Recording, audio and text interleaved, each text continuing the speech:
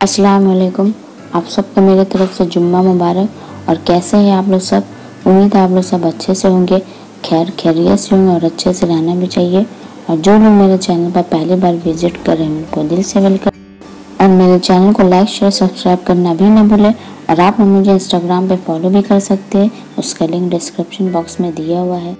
तो यहाँ मैं आज आप लोगों को क्रिस्टल क्लियर होममेड क्लींजर बताने जा रही हूँ। और प्लस फेस पैक भी बताने वाली हूँ इस वीडियो के ज़रिए। तो इसके लिए क्या करनी है आपको? मेरे वीडियो में लास्ट तक बने रहनी है। वीडियो को स्किप बिल्कुल भी ना करना। अगर स्किप करोगे तो फिर पता कैसे चलेगा कि मैं क्या शेयर करने वाली हूँ और क्या नहीं। तो मेरे साथ लास्ट तक बने रहे। उससे पहले आप लोगों को और कुछ फॉलो करनी है, जो है हेल्दी डाइट लेना। अच्छी क्लियर स्किन के लिए हेल्दी डाइट लेना बहुत ज़रूरी है। तो वेजिटेबल्स खाए ग्रीनी वेजिटेबल्स खाए, और सीजनल वाले फ्रूट्स खाए, जो विटामिन सी है, वो वाले फ्रूट्स खाए।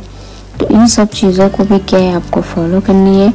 और है, ज़्यादा पानी पिया करें। एक दिन में सात से आठ ग्लास पानी पिए, और प्रॉपर नींद लेना भी बहुत ज़रूरी है। अच्छी स्किन के लिए आप जितना भी एप्लीकेशन कर लो जब आपकी इंटरनल जब आपकी हेल्थ अच्छी नहीं रहेगी तो बेकार है एप्लीकेशन करना। तो आप कम स्किन केयर रूटीन भी आप फॉलो करें तो वो भी बेहतर है।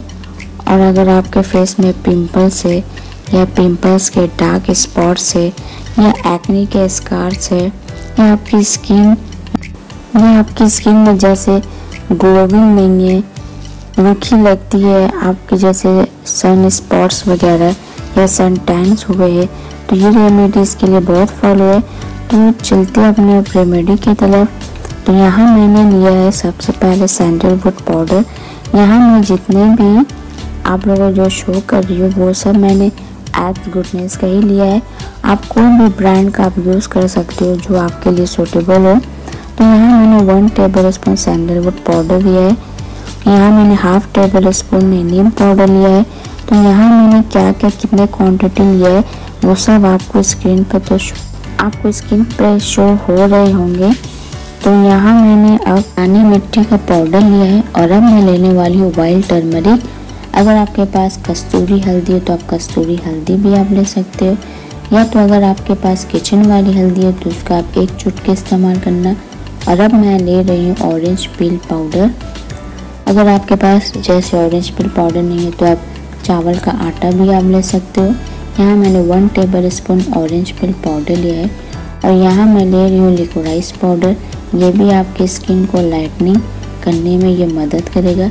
इन जितने भी मैंने इंग्रेडिएंट्स इसमें डाली है, ये सब आपकी स्किन में ग्लोविंग देगा लाइटनिंग देगा ब्राइटनिंग देगा। और आपके जितने भी सन स्पॉट्स वगैरह या डार्क स्पॉट्स है, या एक्ने के मार्क्स है, उन सबको हाइड रिमूव करने में भी ये मदद करेगा।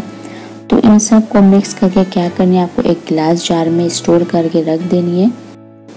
जब आप चाहो, इसे आप यूज़ कर सकते हो इजीली तो यहाँ मैंने थोड़ी बहुत फील करी है और मैं कुछ मैं बचा के रखूँगी। तो उसका मैं आपको क्या है? पेस्ट बताऊँगी कि आपको इसको किस तरह से लगाने का है।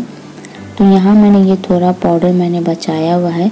तो अब हम इस पाउडर में डालेंगे एलोवेरा जेल, आप कोई भी ब्रांड का एलोवेरा जेल आप ले लें, जो आप यूज़ करते हो, ज़रूरी नहीं है कि आप वाव का लोगे। आप कोई भी आप ले लें, जो आपको सूटेबल हो, जो आपके स्किन में सूट करता हो। तो यहाँ मैंने one tablespoon of aloe vera gel लिया है। और अब हम यहाँ पर लेंगे रोज़ वाटर ये रोज़ वाटर हम सब के घरों में होंगे। बिरयानी तो हम सब बनाते हैं। तो हम सब के घर पे ये रोज़ वाटर होंगे। अगर आपके पास रोज़ वाटर नहीं है तो आप रोज टोनर का भी इस्तेमाल कर सकते हो। अगर जितने भी जो मैंने पाउडर का इंग्रेडिएंट्स जो मैंने बनाया है होममेड क्लींजर अगर उनमें से आपको पास कुछ भी नहीं है तो जो आपके पास अवेलेबल है, आप उसी से बना लें। ज़रूरी नहीं, जो मैं शो कर रही आपके पास नहीं है तो और नहीं बनेगा, ऐसा कुछ नहीं है। आपके पास जो अवेलेबल है, आप उसे बनाएँ, आप उसे यूज़ करें।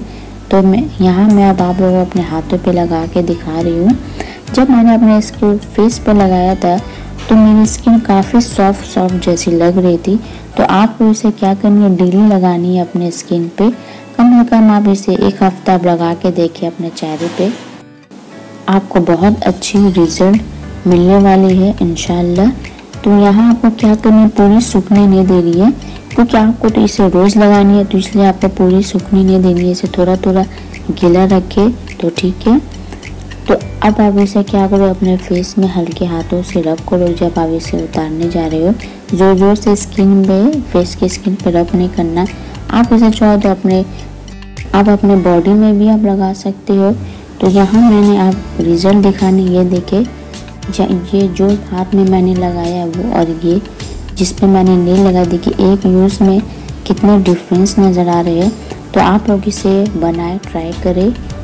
अगर मेरा वीडियो आप लोगों को पसंद आया तो लाइक शेयर सब्सक्राइब करना भी ना भूलें। तो फिर मिलता अगले किसी नेक्स्ट वीडियो में इन अस्सलाम वालेकुम अल्लाह हाफिज़।